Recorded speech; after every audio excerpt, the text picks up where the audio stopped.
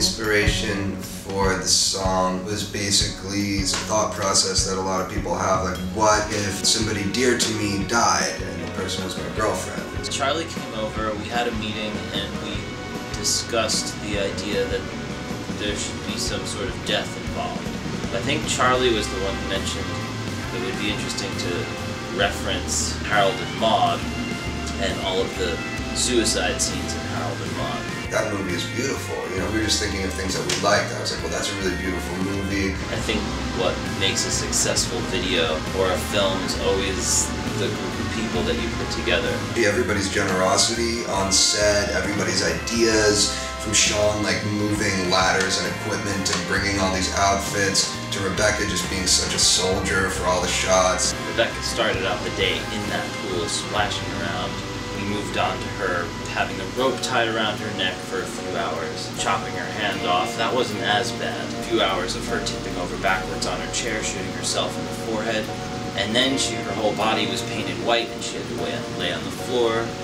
And then you know, we poured fake blood all over her for the last shot and put her in the bathtub. By that time, it was 2 in the morning, so she, she was a real trooper. I think the one that was the hardest to wrap our minds around conceptually is the opening scene from Harold and Maude, which is the fake hanging sequence. We really didn't have the actress hanging from anything. We were considering using a harness, but then we didn't know what to strap the harness up to. Like, how the fuck are we gonna do this? You know, we don't have money to bring like a crane in. In the end, we ended up using two uh, C-stands with a very long rod that went across, and then we just taped the noose up to, to the rod. And I had her standing on tiptoe on two stacked tables that then were hidden behind the couch. and Told the actress to kind of sway back and forth. And then when I actually looked in the camera and was watching Rebecca sway back and forth, I was like, holy shit. I knew it would work because it works in the reference in the Harold and Maude scene that, that we're, we're paying homage to.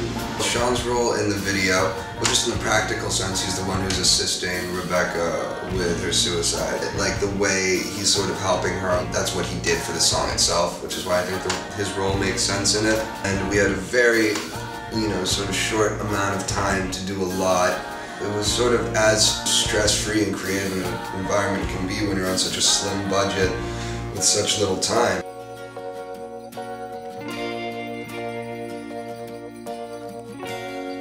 Well, tell me what you see good.